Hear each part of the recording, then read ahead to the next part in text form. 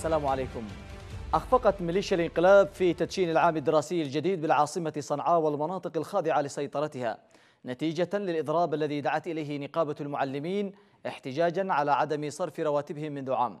بينما فشل الإضراب الذي دعت إليه نقابة المعلمين في المحافظة الجنوبية وشهدت المدارس في عدن وأغلب المحافظات المحررة توافد آلاف الطلاب إليها من مختلف المستويات الدراسية. في هذه الحلقة من زوايا الحدث نناقش الأزمة التعليمية في محورين أسباب بدء العام الدراسي في مناطق الشرعية وتوقفه في مناطق الانقلاب ومدى تأثير انقسام العملية التعليمية على مستقبل الطلاب والطالبات في اليمن.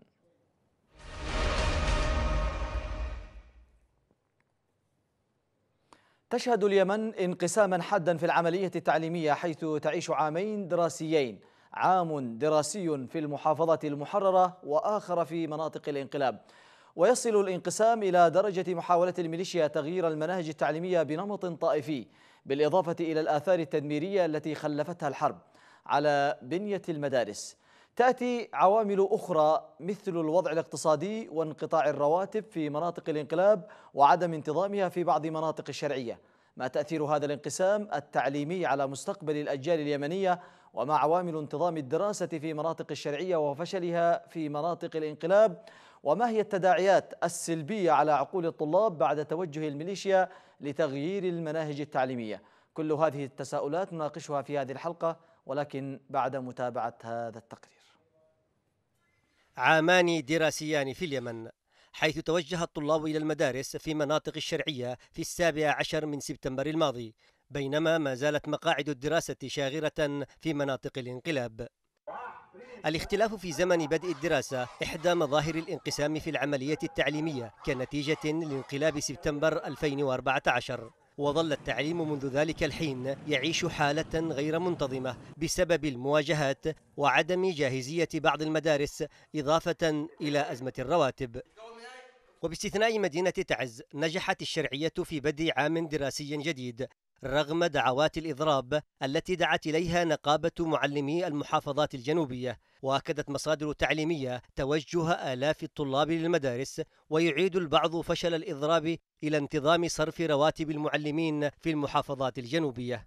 لكن ميليشيا الحوثي وصالح أخفقت في تدشين الدراسة في المناطق المسيطرة عليها رغم محاولتها استخدام القوة لفرض عملية التعليم حيث دعت المعلمين ومدراء المدارس لبدء الدراسة السبت الماضي. ياتي إخفاق الميليشيا الانقلابية بعد دعوات الإضراب التي دعت إليه نقابة المعلمين الأسبوع الماضي معلنة استمراره حتى حل أزمة الرواتب أسوة بمعلمي المناطق المحررة. وتشكل أزمة الرواتب إحدى العوامل الرئيسية لتدهور التعليم في اليمن حيث تمتنع الحكومة الشرعية عن إرسال رواتب الموظفين لصنعاء بينما ترفض ميليشيا الحوثي الكشف عن مصير إيرادات مؤسسات الدولة. ويرى مراقبون أن تلك الإيرادات تذهب لجبهات القتال بدل صرفها على التعليم. رغم الحرب والوضع الاقتصادي المتدهور انتظمت الدراسة في أغلب مناطق الشرعية لكن الطلاب في مناطق الانقلاب وبعض مناطق الشرعية لا يزالون في انتظار أمل مجهول. حياكم الله مشاهدينا الكرام وأبدأ هذه الحلقة مع أمين عام نقابة المعلمين في اليمن الأستاذ حسين الخولاني من الرياض. مساء الخير أستاذ حسين. مساء النور أهلا وسهلا. مرحبا بك أستاذ حسين. عامان دراسيان جديدان. يعني عام يبدأ في المناطق الخاضعة لسيطرة الشرعية وعام دراسي آخر في مناطق التي تخضع لسيطرة الإنقلابيين. إلى أي مدى سيؤثر هذا الانقسام على العملية التعليمية في اليمن؟ بداية أشكرك وأشكر قناتكم لتسليط الضوء على هذا الموضوع الحيوي والهام. وأقول فيما ذكرت أن أننا للأسف الشديد هذا كلام صحيح. وأنه لا شك أنه يؤثر تأثير سلبي على على الجيل وعلى المستقبل وهوية مستقبل تعليم الأمة وهويتها. نعم. ألو؟ نعم. نعم أستاذ حسين نسمعك. نعم. فللاسف الشديد للأسف الشديد أنه فعلا عامين دراسيين في عام واحد. ويعني هذا لا شك أنه سيؤدي إلى إلى إلى إلى نتائج سلبية للغاية لمستوى تعليم الأجيال. وهناك معاناة كبيرة. وللأسف أنا أريد أن أتطرق إلى موضوع أن هذا العامين الدراسيين ما سميتها أنت عامين دراسيين في ظل أوضاع سيئة يعانيها اساسيها المجتمع اليمني والمعلمين على وجه الخصوص نعم. سواء من حيث عدم تسليم الرواتب لمدة عشرة أشهر حتى الآن مع ما ما, ما سمعناه الأسبوعين الماضيين وما لمسناه في بعض المحافظات بدء الشرعية لتسليم المرتبات وانقطاعها في في في بقية المحافظات وخاصة التي تحت سيطرة الحوثي. نعم. آه لك أن تتصور أن المعلمين لهم عام دراسي كامل لا يستلمون مرتبات كيف سيكون إنتاجهم؟ لك أن تتصور أن مجتمع لا يجد لقمة العيش كيف سيجهز ولده للمدرسة. نعم. معاناه أستاذ حسين نعم ربما في في المناطق الخاضعة لسيطرة آه، في المحافظات المحررة التي تتبع الشرعية تم صرف فيها الرواتب وإن كانت محافظة تعز ربما لم تصرف إلا لشهر واحد فقط بعكس بقية المحافظات. لكن ماذا عن المحافظات التي تخضع لسيطرة الإنقلابيين؟ هل المعلمون آه، سيعودون للتعليم والى المدارس وأداء عملهم أم باعتقادك سيعتذر الجميع أو معظم هؤلاء المعلمين عن أداء آه، واجبهم التعليمي في المدارس؟ أخي الكريم بالنسبة للمعلم هو جزء من المجتمع اليمني تحت سيطرة الإنقلابيين وهو يعني لا لا لا حول له ولا قوة. لكنه مع ذلك ورغم التهديدات التي تصله ورغم الاعتقالات وغير ذلك من المآسي التي لا تخفى عليكم وعلى المشاهد الكريم إلا أنه خلال وخلال الأسبوع هذا الذي مضى لم لم يمارس مهامه وكان موقفه واضح معظم المعلمين في الأسبوع الماضي وصل الإضراب إلى حوالي 99 في المئة أو 95% وهذا تعبير واضح عن عن عن عن, عن رفضه الشديد في عدم أدائه التدريس في ظل عدم إيفاء الجهات المسؤولة بالتزاماتها. نعم. أستاذ حسين كان يعني دائما ما كنا نشهد آه، الحراك التعليمي نقابة المعلمين عند انتزاع أي حق من حقوقهم يقومون بالإضراب الخروج بوقفات احتجاجية بمظاهرات. لكن هذه الفترة اختفت كل هذه المظاهر على الأقل في المناطق التي تخضع لسيطرة الميليشيا. ما هي الأسباب التي جعلت المعلم يخضع ولا يعني يرفع صوته لمطالبة بحقوقه في هذه المناطق؟ الحقيقة بالنسبة للمناطق اللي تحت سيطرة الانقلابيين هي واضح يعني إنه لا يمكن أن تمارس النقابات مهامها بصورة حرة لأن هناك تهديدات في اي أي ممارسات ستتم من هذا النوع سواء إضراب أو دعوة لل لل, لل للاعتصام أو غير ذلك وهذا أمر لا يخفى على لا على المشاهد ولا عليكم أنتم كإعلاميين. وبالنسبة لأداء ضعف أداء النقابات في المناطق المحررة هو يعود إلى الأوضاع الأوضاع أيضا السيئة في في المناطق فيما يخص المرتبات تأخرت أكثر من من 10 أشهر لكنها مارست النقابه مهامها في في المناطق في عدد من المناطق المحررة كتعز ومارب وغيرها. نعم. طيب أستاذ حسين تكرم البقاء معنا نشرك معنا في الحديث من صنعاء الأستاذة علا عبد القوي ردمان. مساء الخير أستاذة علا. مساء النور. مرحبا بك أستاذة علا. صفي لنا وضعكم الآن التعليمي. الآن العام الدراسي في المحافظات المحررة بدأ لكن في المحافظات التي تخضع لسيطرة الانقلابيين لم تبدأ. ما هي الأسباب؟ الأسباب واضحة أنه لم يصرفوا مرتبات لمدة عام كامل ونحن صبرنا العام الماضي بحجة أن نحن آه، في في أزمة في العدوان آه، مبرراتهم أن العدوان آه، لابد أن نصمد لأجل العدوان، نحن جبهة داخلية. لكن هذا لا يبرر إنه لا يصرفوا مرتباتنا، أكلوا حقوقنا بأكثر من من عذر. نحن صبرنا لأجل الطالب لأجل نكمل السنة العام الدراسي السابق السنة الماضية، لكن هذا العام لا ولا ولن نبدأ الدراسة حتى يصرفوا كامل مستحقاتنا نعم كم المدة التي الآن أصبحتم بلا رواتب أستاذ علا؟ هم حوالي سبعة أشهر لأنه كانوا يصرفوا لنا نصف مرتب والسلة الغذائية اللي يقولوا أنها نصف المرتب نعم. لكن نعم. السلة الغذائية هذه ذات مجحفة على ال على ال على المستهلك على المعلم لأنه ارتفعت الأسعار نحن يعاملونا بالقسائم معاملة أخرى غير المشتري العادي. نعم يعني يرفعون الأسعار عليكم حتى في هذه القسائم التي صرفتها لكم الميليشيا. نعم. طيب الآن الآن أعلنتم الأستاذة علا في هذه المحافظات على الإضراب آه، ولن تعودوا إلى المدارس حتى يتم صرف الرواتب. هل هناك من تحرك ما لتوفير رواتبكم؟ سمعنا بأن الميليشيا تريد آه، يعني إضافة 100 ريال على الغاز أيوة. وعلى بعض الخدمات من أجل أن تسلم رواتب المعلمين. بما يسمى إنشاء الصندوق صندوق الخاص بالتربية والتعليم. لكن هذا الصندوق بيأخذ من أموالنا نحن لندفع لرواتبنا. ما هذا هذا مهزلة.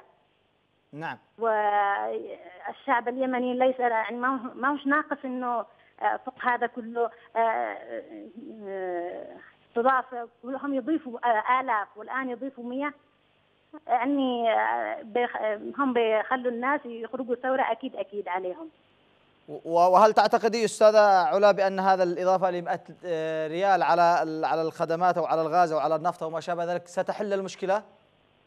لا لا لن تحل المشكلة لأنها هم أصلا هم متعودين إنهم بيعملوا كذا شهر شهرين كذا غالطوا الوضع اللي حاصل هنا باليمن بيغالطوا المدرسين.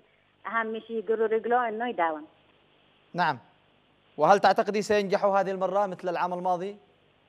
لا لن نسكت لهم. أنا ضروري إحنا نتكلم ضروري إحنا نعترض لا نريد سلة غذائية لا نريد شيء نريد رواتبنا فقط. نعم. أه تبدين أستاذ علا تتكلمين بثقة كبيرة بأن هناك ربما يعني إصرار كبير من المعلمين والمعلمات في هذه المحافظات بأنهم لن يقبلوا إلا برواتبهم وأنهم لن يعودوا إلى المدارس حتى لو يعني بالقوة من قبل الميليشيا أو تم تهديدهم أو ما شابه ذلك؟ قاموا خلال يومين باقتحام مدرستين آه، لأجل نفتحهن آه، ونسجل ونسحب ملفات. لكن آه، ما حد بيرضى. ما حد بيرضى لنفسه لا إدارة ولا مدرسين. نعم. كلمتك الأخيرة أستاذة علا في معانا في معانا الآن بكرة أو بعد معانا مسيرة مكتب التربية بالأمانة ونروح وزاره التربية نطالب بحقوقنا هذه المسيرة من دعا من دعا لها أستاذ علا؟ نقابة نقابة المهن ومجموعة المدراء مدراء ومديرات أمانة العاصمة. نعم. هل أستاذ علا اذا كلمة أخيرة لك في هذا اللقاء توجهيها سواء للميليشيا أو لإخوانك من المعلمين والمعلمات؟ نختم بها تفضلي. آه، قفوا يدا واحدة أيها المعلمون والمعلمات لا نرضخ لهم لا نسمع لكلامهم هذا مجموعة آه، نصابين. جاءوا يدعوا لمحاربة الفساد وهم الفساد أصلا. وعلينا بالصبر لا لا نرضخ لكلامهم ولا نضعف. نعم. شكرا جزيلا لك الأستاذة آه، علا آه، عبد القوي ردمان. كنت معنا من صنعاء إحدى معلمات أمانة العاصمة. وعودة إلى الأستاذ حسين. أستاذ حسين هل باعتقادك سينجح المعلمون وبقية النقابات المهنية والعمالية في صنعاء بالخروج كما تحدثت الأستاذة علا من صنعاء؟ شكرا جزيلا أخي. هم سينجحوا بالضرورة لأن الوضع الوضع أصبح لا يطاق. وأنت سمعت من الأخت المعلمة كلام واضح وصريح وبالتالي وبالتالي أنا أؤكد لك واكد لك أن محاولاتهم هذه المرة ستنجح لأنهم أعطوا فرصة كافية للإنقلابيين لأنه لأنه لا يستطيعوا أمر لا يطاق أن يمارسوا مهامهم في ظل هذا الوضع.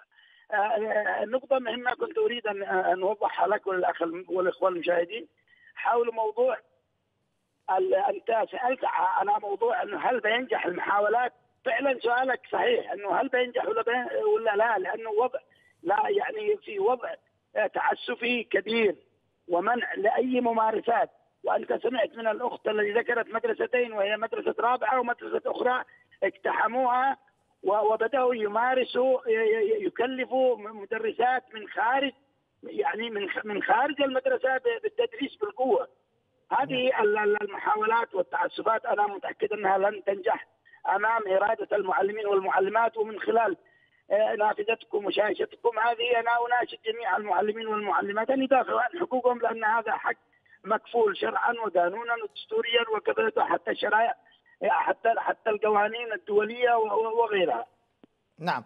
طيب أستاذ حسين تكرم نعم أخي الكريم أسمح لي أناشد أيضا منظمات المجتمع المدني التي تعني بحقوق الإنسان أن تتدخل في هذا الظرف والأمم المتحدة وغيرها هذا أمر لا يطاق وهناك قضية أخرى يعني لا أدري أن تتطرق إليها في برنامجك أو لا تتطرق إليها فيما يخص المناهج موضوع يجب أن يكون يعني محل اهتمام عند المسؤولين وعند المجتمع اليمني وأن يقفوا ضد أي أي أي أي أي عبث بالمناهج بقوة.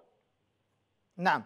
طيب أستاذ حسين ابقى معي نشرك معنا في الحديث الدكتور علي العباب مدير مكتب التربية والتعليم في مارب. مرحبا بك دكتور علي. حياك الله. دكتور ربما آه، يعني لا يخفى الوضع عن آه، وضع التعليم في المحافظات آه، التي تخضع لسيطرة الانقلابيين العملية التعليمية لا زالت متوقفة المعلمون مضربون لعدم صرف رواتبهم كيف جرت الدراسة في أسبوعها الأول في المحافظة المحررة وعلى وجه التحديد مارب ولله الحمد. العملية التعليمية في محافظة مارب تسير بشكل طيب. آه، عدا أن هناك إجراءات آه، تعسفيه في بعض النقاط الفاصلة بين المحافظات المحررة والمحافظات الخاضعة لسيطره الانقلابيين مما أدى إلى تأخر بعض المعلمين. ولكن ليس بنسبة كبيرة وإنما آه، العملية تمشي بشكل جيد، إقبال الطلاب يزيد في الأسبوع الأول على 80% من إجمالي الطلاب، تواجد المعلمين بشكل طيب. العملية التعليمية تمشي في مارب وباقي محافظات الجمهورية المحررة آه، بشكل طيب الكتاب المدرسي وصل إلى إلى معظم مدارس المحافظة ما عدا آه، عجز في بعض المحافظات التي تتبع تتبع مطبعة حضرموت آه، المعلمين داخل مدارسهم أبناء الطلاب يتلقون العملية التعليمية الأمور ولله الحمد تمشي بشكل جيد. نعم. دكتور علي بالنسبة للمعلمين ورواتبهم في محافظة مأرب هل هي منتظمة تسير بصورة اعتيادية؟ طبعا تسير بصورة اعتيادية في كافه مديريات المحافظة ما عدا آه، مديرية حريب القراميش التابعة التي لا زالت تحت سيطرة حريب القراميش التي لا زالت تحت سيطرة الإنقلابيين وهي مديرية محاذيه لمحافظة صنعاء أما بقية آه، مديريات المحافظة العملية التعليمية تمشي بشكل طيب آه، تم توزيع المعلمين ورفع الخطط إلى مكتب التربية والتعليم. تم توزيع الكتاب المدرسي من يومنا هذا. آه، رواتب المعلمين آه، مستقرة وتصرف في الخامس والعشرين من كل شهر. اذا آه، التحدي الأكبر دكتور علي نعم. في محافظة مارب. نعم التحدي الأكبر دكتور علي ربما هي الطاقة الاستيعابية لمحافظة مارب. كما تعلم عدد يعني أصبح منهم الآن في مارب يعني تجاوز الاثنين مليون بعكس يعني السنوات الماضية. كيف استوعبتم جميع الطلاب في مدارس محافظة مأرب؟ وأيضا كيف وفرتم المعلمين والمدرسين وأيضا المعلمات آه، التي تقوم بملء جميع الفراغ في هذه المدارس. طبعا لا يخفاك أخي العزيز والمشاهد الكريم بأن النازحين إلى محافظة مأرب آه، كما ذكرت يفوق ال 2 مليون مما أدى إلى اكتظاظ المدارس بالطلاب. فعلى سبيل المثال في مديرية المدينة آه، زادت نسبة الطلاب عن الأعوام الماضية إلى نسبة 117% آه، مما أدى إلى اكتظاظ بالفصول الدراسية بعجز في الكادر التعليمي، عجز أيضا في الكتاب المدرسي ولكن تم مواجهة ذلك من خلال آه، فتح مدارس ثانوية في مديرية المدينة بما يقارب أربع ثانويات. آه، فتحنا مدارس للناجحين في الخانق وصلب المحاذي لصنعاء والجفينة وصلواح. تم توفير عدد كبير من الخيام والمقاعد الدراسية لاستيعاب ابنائنا الناجحين. طبعا وفرنا عقود للمعلمين من خلال التواصل مع محافظ المحافظة الشيخ سلطان بن علي الاراده أيضا آه، بالتواصل مع بعض الجهات المانحة لتوفير عدد من العقود لتغطية العجز في الكادر التعليمي آه لله الحمد العملية تعتبر آه تمشي آه نعم. أقدر أقول بشكل جيد في هذه المحافظة رغم كثافه النازحين وكثافه الإقبال على نعم. العملية التعليميه. دكتور علي هل تم استيعاب مثلا آه، معلمين من الذين آه، يعني نزحوا من مناطق التي تخضع لسيطرة الانقلابيين وأصبحوا في مارب ولديهم القدرة على يعني أداء عملهم في هذه المحافظة لا سيما في هذا الاحتياج طبعا التعاقد الذي تكلمت عنه قبل قليل هو مع إخواننا المعلمين النازحين من المحافظات الأخرى فلهم الأولوية خاصة في مديرية المدينة حيث يتكثف النازحين وهناك رفع بأسماء كثير من المعلمين إلى وزارة التربية والتعليم للدكتور عبد الله الأملس وزير التربية والتعليم والذي آه الذي يولي هذه العملية اهتماما من خلال رفعها إلى رئيس مجلس الوزراء وبإذن الله تعالى سيتم معالجة آه إخواننا أو وضع إخواننا المعلمين من المحافظات الأخرى باعتماد مرتباتهم بشكل مستمر وتحويلهم على مكتب التربية والتعليم في المحافظات المحررة سواء مارب أو بقية المحافظات الأخرى. نعم. شكرا جزيلا لك مدير مكتب التربية والتعليم في محافظة مارب الدكتور علي العباب. ونشرك معنا في الحديث من تعز الأستاذ عبد الرحمن المقطري. مرحبا بك أستاذ عبد الرحمن. حياك الله أخ بشير. مرحبا بك أستاذ عبد الرحمن. أيضا أنتم في تعز ربما وضعكم مختلف على باقي المحافظات المحررة التي تشهد يعني يعني تشهد انتظاما كبير سواء في الرواتب أو في العملية التعليمية. أنتم في تعز كنتم مضربون عن العمل حتى تم صرف راتب شهر. الآن هل ستبدأ العملية التعليمية في تعز بصورتها الاعتيادية أم لا؟ بسم الله الرحمن الرحيم. آه العملية التعليمية إن شاء الله تعالى تبدأ من يوم غد. كما آه جاء في طبعا توجيه مدير التربية والتعليم وأيضا استجابة من مدراء المدارس الذين آه استشعروا المسؤولية ويعني قالوا بأنهم سينفذوا العملية التعليمية اعتبارا من يوم غد. على أمل أن تأتي مرتباتهم بشكل مستمر. ونحن في اللقاء الموسع لنقابه منظمة المجتمع المدني في هذا اليوم التقينا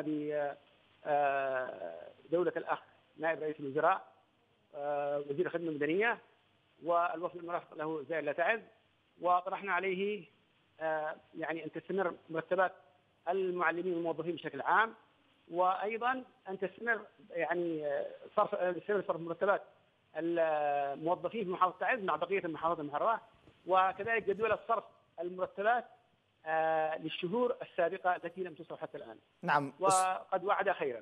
نعم.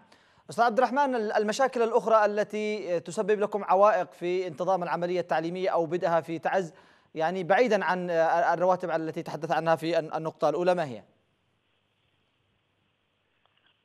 طبعا هناك مشاكل أخرى تتمثل ب يعني مشكلة الخوف من القضايا في مناطق التماس وأيضا صعوبة تنقل الطلاب في هذه المناطق نتيجة لوقوع يعني اشتباكات بصوره مستمرة و أو نتيجة لوجود القذائف التي يطلقها الانقلابيون. هناك أيضا مشكلة في قضية عدم إيصال الكميه الكافية من الكتاب المدرسي وأيضا صعوبة انتقال الطلاب والمدرسين في بعض الأماكن نتيجة لتقطع السبل بسبب الحصار من قبل الحوثيين. وبالتالي أحيانا لا يستطيع المدرس أو الطالب أن يصل إلى مدرسته بسهولة وإنما يحتاج إلى أن يعني يلف لفة طويلة حتى يصل إلى مدرسته. هل هل لمستم هل هل لمستم تعاون كبير من قبل الحكومة بممثلة بنائب رئيس الحكومة وزير الخدمة المدنية جباري والوفد الحكومي الذي يوصل إلى تعز؟ نعم نعم لمسنا تجاوب كبير في أكثر من جانب سواء في قضية المرتبات أو في قضية أيضا إخلاء بعض المدارس من الفلاحين أو يعني تسهيل كثير من الأمور وأيضا حلحله كثير من المشاكل التي تخص المحافظة. شكرا المؤسسية. نعم. الأمين العام لنقابة المعلمين في تعز الأستاذ عبد الرحمن المقطري شكرا جزيلا لك وأعود عودة أخيرة إلى الرياض مع أمين عام نقابة المعلمين في اليمن الأستاذ حسين الخولاني أستاذ حسين تقييمك أنت أيضا لتعامل الحكومة الشرعية مع العملية التعليمية بشكل عام كيف تقيمه يعني لا يزال يحتاج إلى اهتمام أكبر. ما ما قامت به الحكومة نشكرهم عليه ولكنه غير كافي بالمرة. آه لابد من لفتة كبيرة لموضوع التعليم سواء فيما يخص المرتبات أو في الوسائل الأخرى توفير كل ما يحتاجه المعلمين. أمر لابد منه فهناك لا يزال في قصور كبير وأنا من خلالكم أناشد آه الدكتور أحمد هندار وزير رئيس الوزراء على أن كبيرة للتعليم وخاصة فيما يخص استكمال أداء مرتبات صرف مرتبات المعلمين. نعم. أشكرك جزيل الشكر أمين عام نقابه المعلمين في لو سمحت لي هناك ملاحظة بسيطة تفضل أنا يعني أنا أشكركم وكرر شكري لكم على تسليط الأضواء وادعو وأدعو وناشد من خلالكم كل القنوات وكل وسائل الإعلام إلى تسليط الضوء على العملية التعليمية لأنها مستقبل جيل وأريد أن ألفت الأنظار فيما يخص المسيرة التي أشارت إليها الأستاذة علا في بخصوص الدعوة إلى المسيرة يعني نحن في نقابة المعلمين لم ندعو إليها ولكننا نؤكد ونبارك هذه المسيرة لأنها دعوة للحقوق ونشد على أيدي الإخوان مدراء المدارس في أمانة العاصمة والمعلمين في المطالبة بحقوقهم بالطرق المشروعة. شكرا جزيلا لك الأستاذ حسين الخولاني أمين عام نقابة المعلمين في في الجمهورية اليمنية. والشكر أيضا لمدير عام مكتب التربية والتعليم في محافظة مأرب الدكتور علي العباب. كما هو الشكر أيضا للأستاذ عبد الرحمن المقطري كان معنا من تعز أمين عام نقابة المعلمين في تعز. والشكر أيضا للاستاذه علا عبد عبد القوي ردمان كانت معنا من صنعاء. في ختام هذه الحلقة تقبلوا آه فريق الإعداد الأخ محمد اللطيفي وأيضا الأخت شروق القاسمي كما هي لكم من كافة الطاقم الفني. حتى الملتقى حلقات جديدة من زوايا الحدث. حفظكم الله والوطن. السلام عليكم.